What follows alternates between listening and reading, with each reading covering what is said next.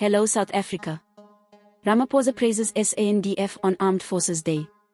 On Tuesday, President Cyril Ramaphosa praised the work of the South African National Defence Force SANDF in Richards Bay. As Commander-in-Chief, the President gave an address on Armed Forces Day, where he thanked the Army for its contribution to the development of the country.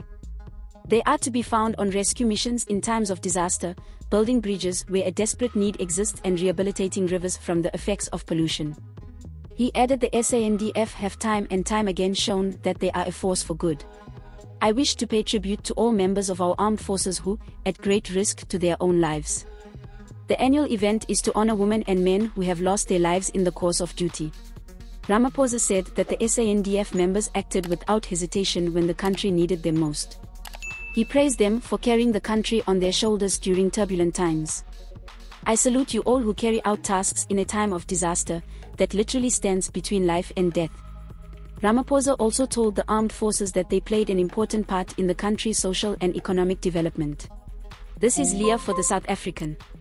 Please subscribe for more news updates.